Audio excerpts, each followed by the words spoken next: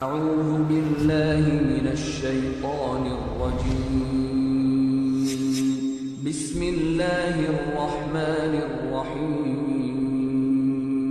করেননি সম্মানিত দিনী ভাই পবিত্রতার আলোচনার আজকের জন্য লম্বা না করে শেষের দিকে এসে বলছি হুজাইফ ইবনুল ইয়ামান রাজিয়াল্লাহ তালা আনহ বলেন আতান নবী সাল্লাহ আলি সাল্লাম সোবাতা তাকামিন আল্লাহর নবী একদা মানুষের আবর্জনা, বাড়ি ঝাড়ু দিয়ে আবর্জনা ফেলার জায়গাতে আসলেন, দাঁড়িয়ে পেশাব করে দিলেন।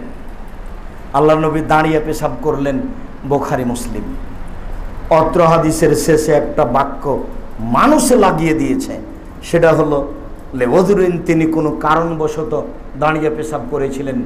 এই কথাটাই মিথ্যে।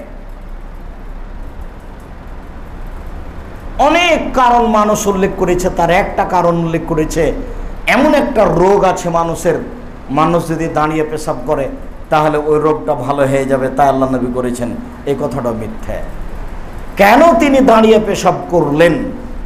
বসেই পেশাব করতে হবে, এটাই সন্ন্যাত বসেই পায়খানা করতে হবে, এটাই সন্ন্যাত মানুষের যদি বসার কোনো পথ না থাকে, তখন মানুষ দাঁড়িয়ে পেশাব পায়খানা করবে তার কাজটা জায়েজ, কেয়ামাত পর্যন্ত তার উম্মাদ যেন কোনো সময় বিপদে না পড়ে, তাই এই পথটা সুগম করে গেলেন হাদিস বোখারি, মুসলিম।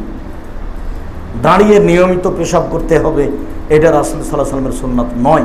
তবে রাজশাহী, চাঁপাই, নবাবগঞ্জের মুরব্বী মানুষেরা মনে করত, যে দাঁড়িয়ে পেশাব করল, সে কুকুর, কুকুরের মতো পেশাব করছে। ওটা একটা কুকুর, এইভাবে বলতে হবে না। দাঁড়িয়ে পেশাব ইচ্ছা করেই করতে হবে না। যখন কোনো বসার পথই নেই। পানি হচ্ছে আপনার কমর বুক পর্যন্ত, তা আপনি কীভাবে বসবেন? এমন এক টয়লেট যে আপনি তার বসতে পারবেন না। এমন বিমানে উঠেছেন, সেখানে বসার কোনো পথ নেই। তখন আপনাকে কীভাবে পেশাব করতে হবে? তো যেভাবে দাঁড়িয়ে পেশাব করা সহজ হয়, সেভাবেই করতে হবে।